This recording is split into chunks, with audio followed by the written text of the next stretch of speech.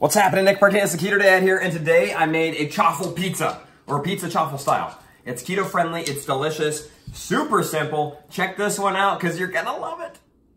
Okay, this recipe is so simple and it's delicious. It's my favorite kind. First thing that we're gonna do is crack an egg.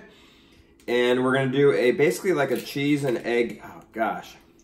I got an eggshell in there. Not good. That egg did not want to crack. You ever have one of those eggs where they just don't come apart? And I think I have three eggshells in here. Stand by while I clean out my egg. Okay, my egg's all clean.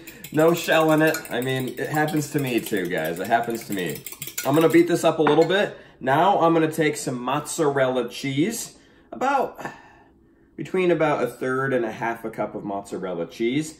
And before I mix this in, I'm gonna take some pizza seasoning. Now, if you don't have pizza seasoning, don't worry, just use a little bit of basil and oregano.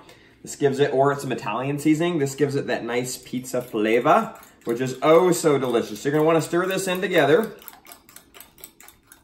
Okay, and after it's stirred together, we're gonna use our little dash. Now, if you have the waffle maker, you can just use the waffle maker. This is the griddle one, which works great for this. You don't have to use the griddle. You can definitely use the waffle maker. I'm gonna sprinkle a little bit of cheese on the bottom just to crisp it up a little bit. Um, you don't have to do this. However, I've found that it does uh, help with the flavor and it also just helps with the overall consistency. Then we're gonna pour our egg mixture on here. Oh, this is gonna be good. And then we're gonna close this sucker up. Okay, my pizza crust is done. This one rose a little bit, but it will definitely deflate. Look at that. I mean, doesn't that look delicious? We're gonna let this cool down for just a sec, and then we're gonna top it, and then we're actually gonna put it back into the dash. Now the fun begins. We get to top the pizza however you like. I've got some Rao's pizza sauce that I'm gonna put on here. All right, now I'm gonna use a little bit of Colby Jack cheese. You can use whatever kind of cheese you like for your pizza. I'm gonna get my cheese all over this guy. And then I'm gonna use just your good old basic pepperoni. Got all loaded it up.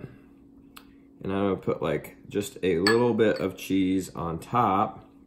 Now here's what's fun.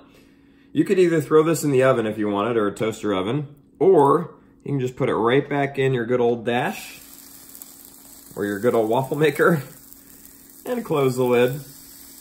Let it melt up that cheese and melt up those toppings. All right, it just came out and I'm super excited to eat this. It's gonna be delicious. Let me pull it off of here. I mean, look at that. Okay, now for the moment of truth, the question is, how does it actually taste? Is it good?